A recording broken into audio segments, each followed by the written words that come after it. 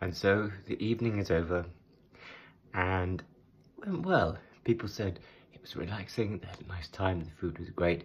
Uh, the potjie went down very well, which was a little bit gutted that nobody actually ate his tomato salad. But hey, the rest of the food was really, really good.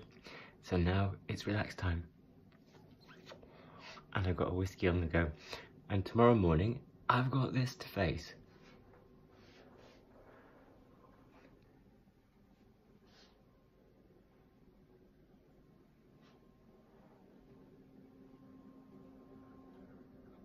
That's just a half of it.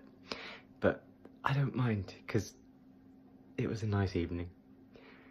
From me, Finding Vicarage, and our Potjie South African evening, I bid you adieu and God bless.